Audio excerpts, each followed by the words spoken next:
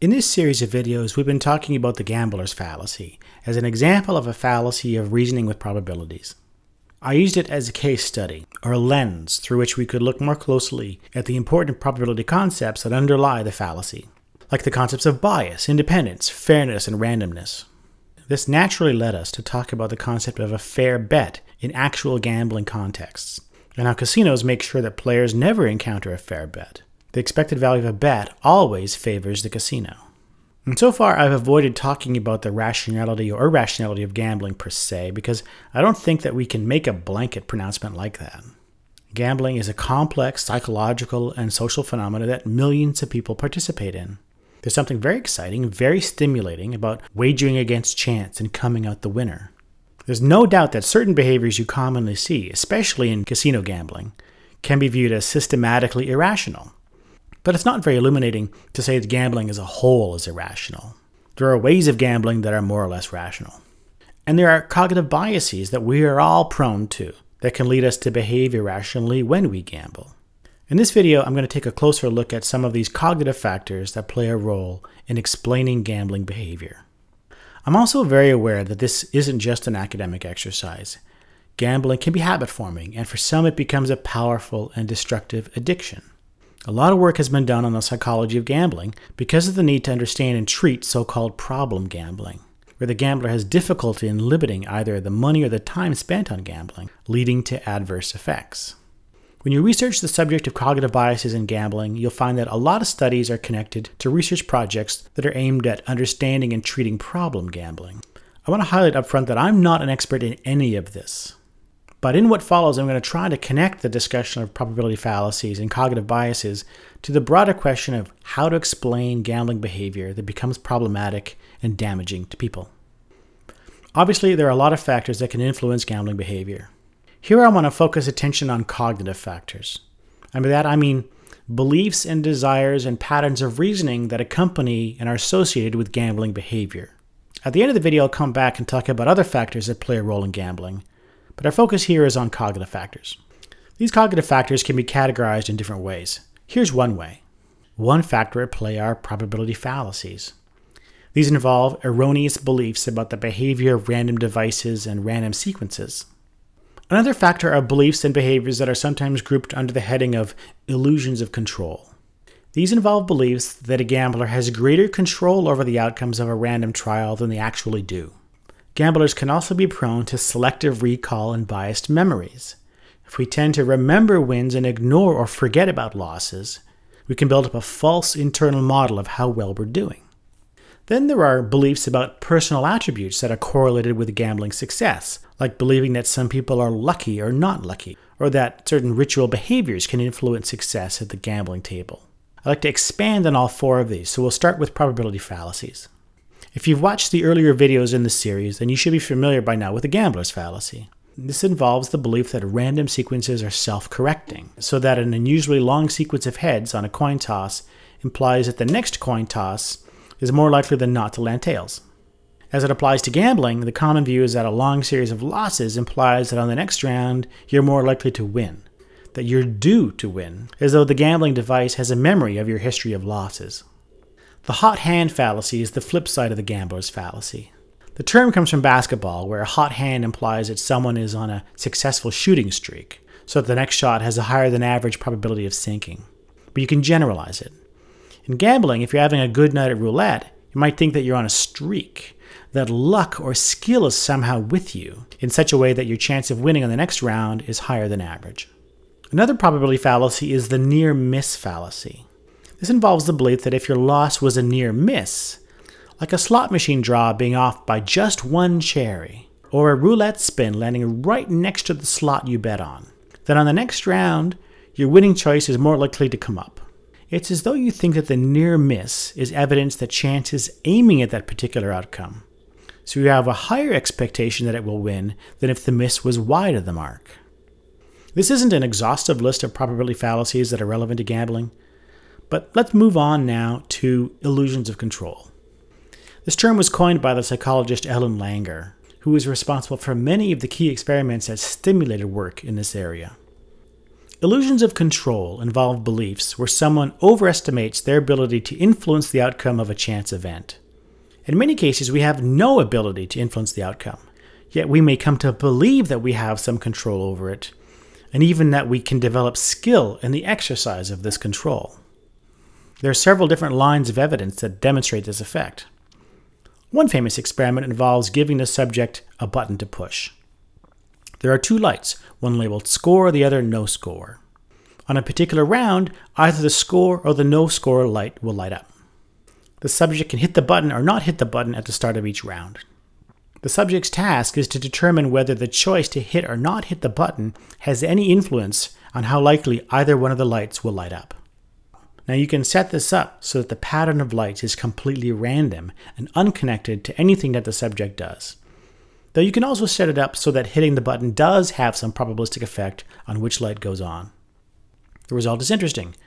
People have a range of judgments about how much control they have over the lights, but these judgments have almost no correlation with the actual control that they have. What seems to anchor their judgment the most is how often the score light goes on. If it lights up frequently, they think they have more control over the sequence than if it lights up less frequently. So it seems like when one of the outcomes is conceptualized as a success outcome, then our brains tend to fixate on this outcome. We come to think we have more control over success outcomes than outcomes that aren't conceptualized as success outcomes. Here's another interesting phenomenon. When gamblers throw dice in a game like craps, it turns out that when they want a higher dice roll, they throw the dice harder than when they want a lower dice roll. Our brains and our bodies associate the outcomes of a dice roll with a variable that we have control over. Here's another famous experiment. Subjects are given the task of predicting the outcome of 30 coin tosses.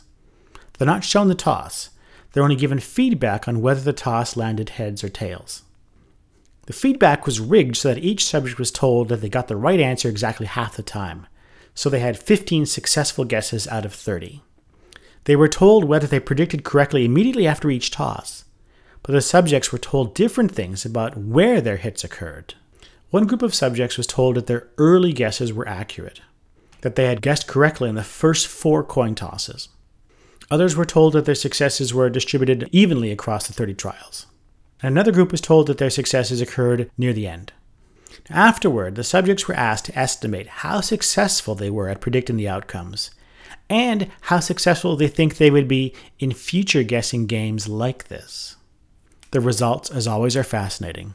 The group who was told that they had success early on in the test overestimated their total number of successful predictions and had higher expectations for how they would perform on future guessing games than the other subjects in the test. So the early hits seem to generate a kind of primacy effect, where information given early in the sequence tends to dominate a person's judgments. The other startling result was that 40% of all the participants said that they thought their performance would improve with practice, and 25% thought that their performance would be hampered by distraction, even though the task was to predict a chance outcome, a random coin toss. So the upshot of this line of research is fairly discouraging. We can easily come to believe that chance outcomes can be subject to conscious, intentional control. Early successes, early wins, can lead to an attribution of skill, the belief that the successes are due in part to the exercise of skill. And we can come to believe this even when outcomes are genuinely random and there is no correlation between anything we do and the actual pattern of outcomes.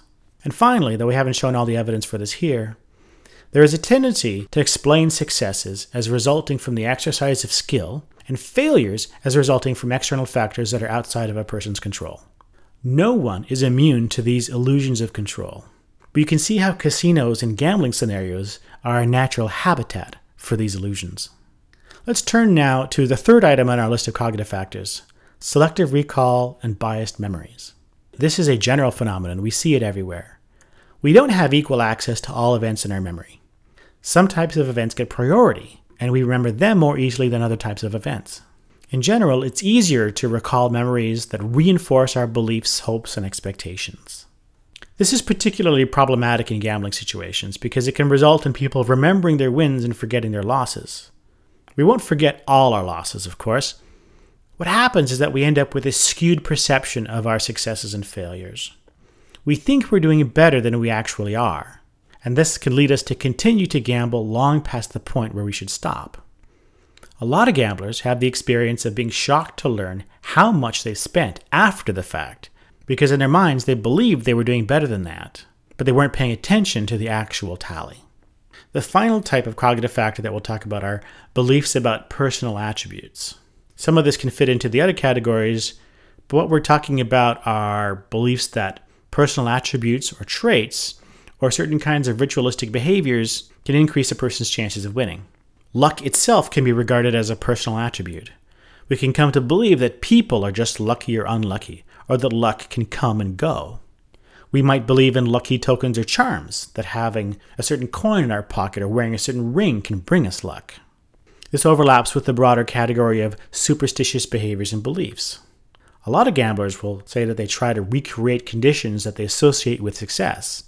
And it could be as arbitrary as touching the button on a slot machine three times before hitting it, or wearing the same pair of socks.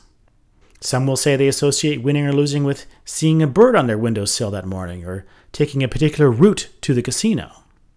Another category is a belief in the power of fate, that fate is poised to intervene and bring happiness to one's life. In cultures where ancestor worship is common, one often sees luck in gambling associated with the intervention of dead ancestors.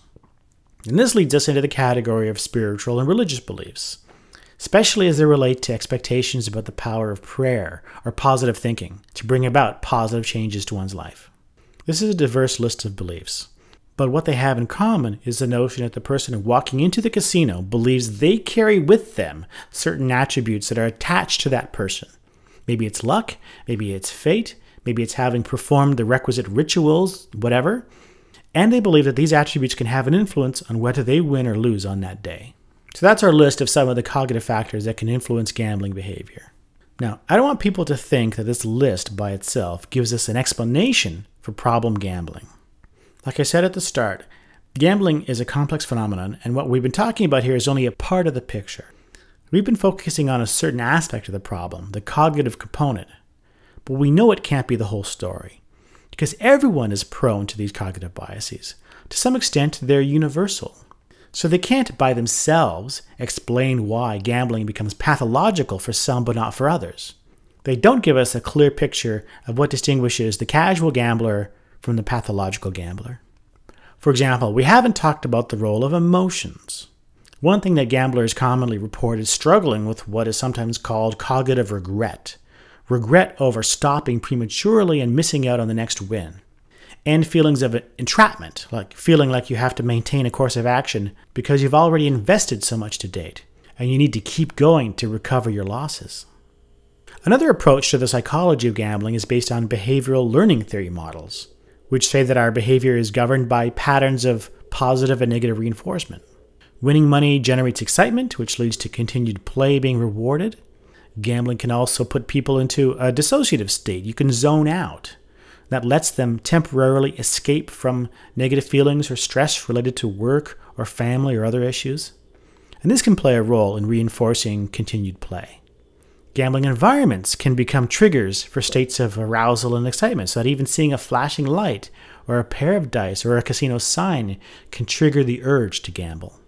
There's also research on the neurophysiology of addiction that can shed light on pathological gambling. Addiction models target the changes in brain chemistry and functioning that often accompany addiction, and pathological gambling is the best candidate for a behavioral disorder that qualifies as addiction. It's addiction without a drug, but it's still addiction. Serotonin levels are linked to impulse control, noradrenaline is linked to arousal, uh, the neurochemistry that Im- impacts dopamine levels is linked to reward and reinforcement, mood, decision making, and so forth. It's likely that the neurophysiology of gambling addiction is also going to show some differences from substance addiction, but it's still obviously an important piece of the puzzle. And finally, my brief review of the literature strongly suggests that the frontier in this area is integrated studies and modeling. And by that I mean looking at correlations between brain functioning, for example, and susceptibility to the sorts of cognitive fallacies and distortions that we've been looking at in this video or correlations between personality traits like impulsivity and susceptibility to problem gambling. Luke Clark and others are pushing this integrated approach, and it seems to me that this is where the field has to go. So, summing up, here's what I wanted to accomplish with this video. I wanted to show how the gambler's fallacy and other fallacies of probabilistic reasoning play a role in explaining actual gambling behavior. To do this, I tried to show how they relate to the broader class of cognitive factors that are known to play a role in the psychology of gambling. But I didn't want to suggest that we'll fix these problems simply by educating people about probability theory. Critical thinking about gambling certainly requires that we understand these cognitive distortions. But gambling behavior, like any human behavior, has neurological and physiological as well as cognitive components. We need to understand how these interact to really understand what's going on.